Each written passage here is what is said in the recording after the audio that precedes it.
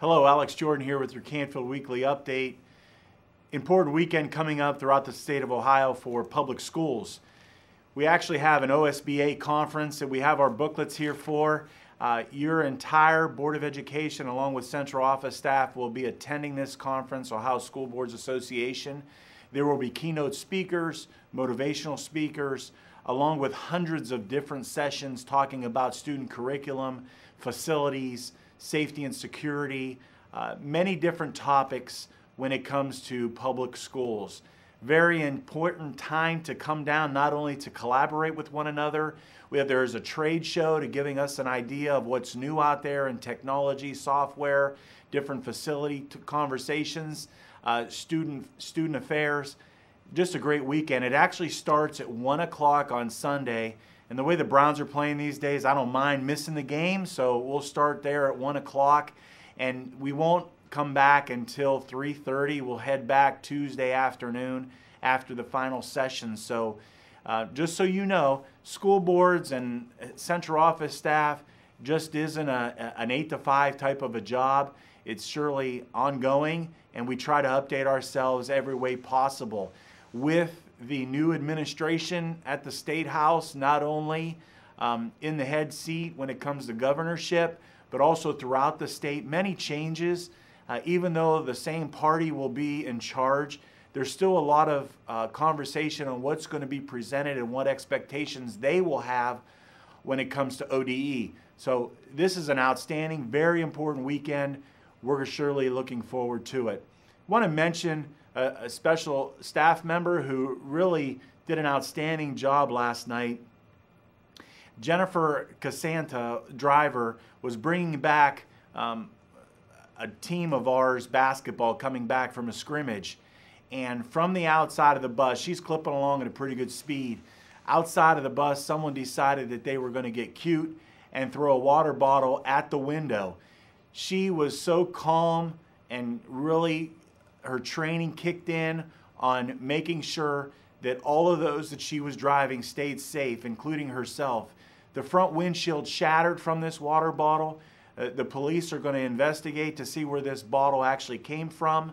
But again, Jennifer, thank you for your efforts, not only keeping yourself safe, but all of the passengers involved. Really want to recognize her efforts and thank her for, for what she did last night. Want to remind all of our parents that parent teacher conferences are coming up. Uh, CVMS will be on the 19th. Elementary and high schools will be having it on the 20th. These are 2 o'clock in the afternoon to 9 o'clock in the evening.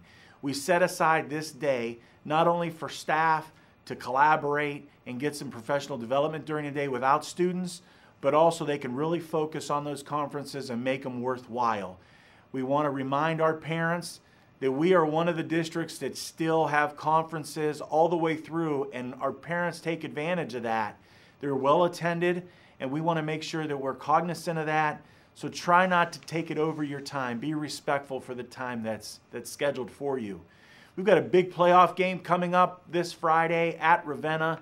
Tickets are still on sale in our high school along with middle school. So if you have youngsters that would like to buy those pre-sale tickets, it not only saves you a buck, folks, but it also we're able to retain just over one dollar of each t- ticket that's sold pre-sale and keep it within our athletic fund.